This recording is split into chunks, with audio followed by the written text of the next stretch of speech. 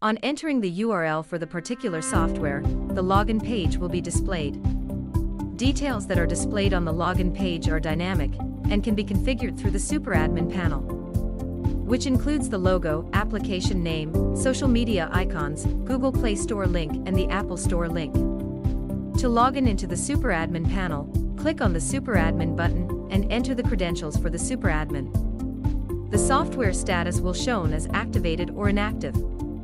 Following details will be shown on the dashboard which includes total numbers of vehicles and vehicles added in the current month, total number of direct users, which includes the admin types of users only, total users added in the month, total numbers of license being used by the super admin, and also the number of the licenses issued in that particular month.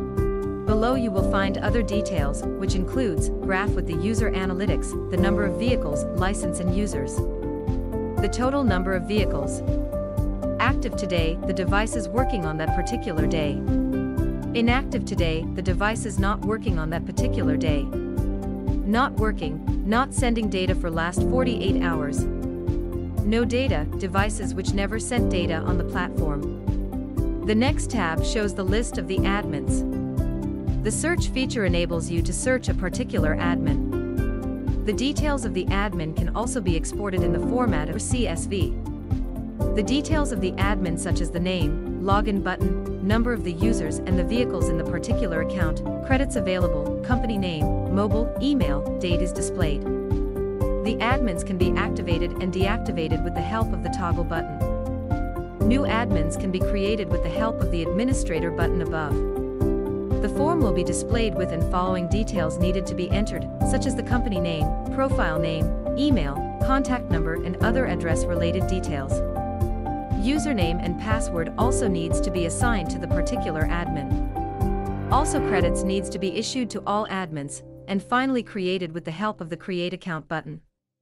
To view other details for a particular admin, click on the admin name for the particular admin. Various details such as the username, mobile number, email address, and the address will be displayed for that particular admin. Password can be updated with the Update Password button on the admin panel. Credits for that particular account are displayed under the Credits section. Credits can also be issued and deducted from all admin. Calendar View in the software allows you to view information about the new vehicles and users added, as well as vehicles getting expired in the coming days using different colors. To view the details, click on the particular vehicle or the user, and details will be displayed in the form of the dialog box. The details can viewed in the format of the day, week, or month.